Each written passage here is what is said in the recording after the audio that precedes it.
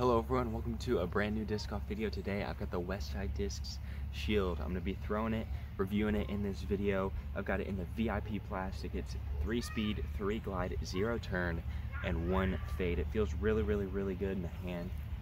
I've been really searching for a nice overstable throwing putter. Right now I'm using a Goldline Gauntlet, but as I keep throwing that, I'm gonna be looking for something to eventually uh, replace that in the overstable slot. And I know I've thrown the Shield a bit in the past and it's pretty overstable, so we're gonna be reviewing it in this video. Let's go ahead and get into it.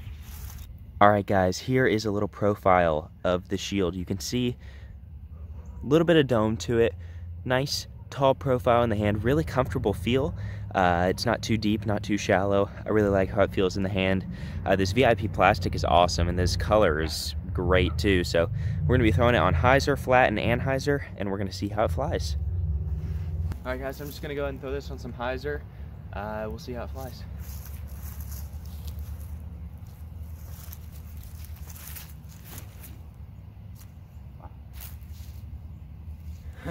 really, really overstable.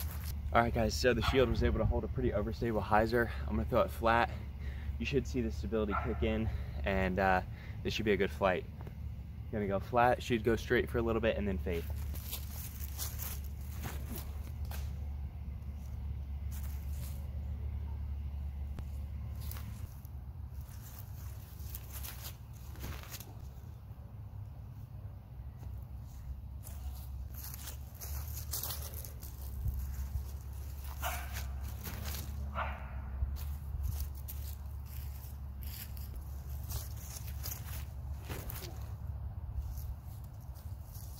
Wow. That thing has some serious overstability to it.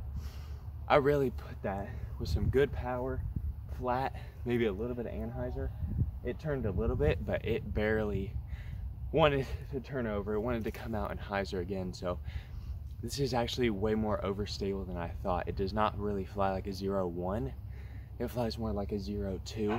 Um, so this is actually pretty overstable. I think this would be a good option for a lot of people looking for an overstable throwing putter and they may not really know how overstable the shield actually is. Um, yeah, I'm gonna throw it one more time and we'll see how far I can get it. All right, let's see how far we can get this thing.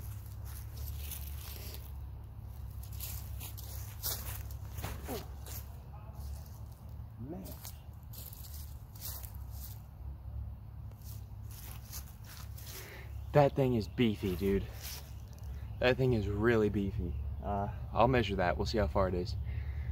Man, that's definitely not going to be as far as my normal putters, but that is a tool to have. I may consider uh, that as a future putter in my bag. We'll see how far that went.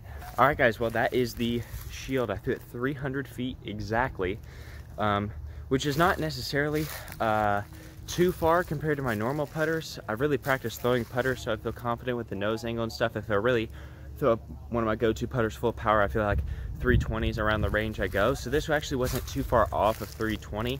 Um, the shield, really, really interesting. Uh, it was very overstable, way more overstable than I expected. It's definitely something that you consider. It's one of the most underrated, I guess, overstable putters. Um, and so I really enjoyed throwing it.